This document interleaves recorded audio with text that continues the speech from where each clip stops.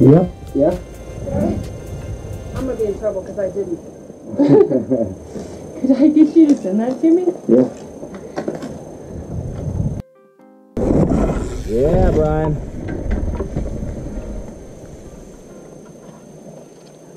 Alright. I can do your phone number or email. Okay. Uh, let's do. Uh, email.